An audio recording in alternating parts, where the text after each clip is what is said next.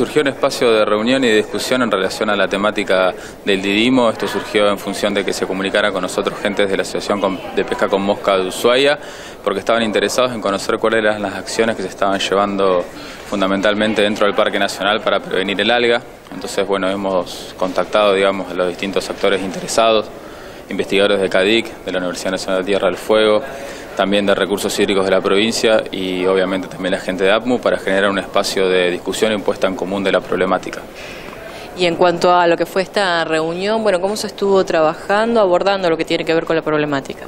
Bueno, en principio el primer punto fue poner en, común las acciones que se están llevando dentro del Parque Nacional, donde el equipo técnico del Parque Nacional pudo explayarse sobre la realidad. Ellos nos han comentado que se ha detectado un foco de idimo en el río La Pataya, que está afortunadamente controlado, y cuáles son las acciones que están llevando a cabo, que son principalmente contener las acciones antrópicas, es decir, actividades humanas relacionadas a las actividades acuáticas. En función de las actividades en común, eh, la puesta en común fue que hace falta más información, poner eh, más en común y en contacto a la gente en relación a las medidas de prevención que hay que llevar a cabo.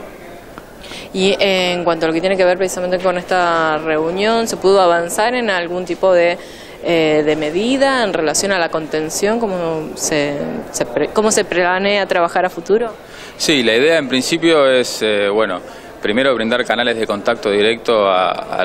los pescadores con mosca, porque ellos la realidad es que están en muchos sitios de nuestras cuencas en toda la provincia, entonces la idea es generar un vínculo más fluido, donde ante sospechas de aparición del alga, ellos puedan comunicarse con los investigadores que están trabajando, ya sea de la universidad, del CADIC o de recursos hídricos, para informar la situación y que bueno, pueda ser controlado el punto sospechado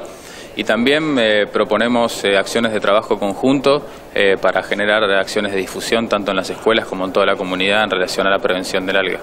¿Ha quedado pautado un próximo encuentro? No por el momento, lo que sí hemos pautado es desarrollar un plan de acción conjunto en relación a la comunicación hacia toda la comunidad.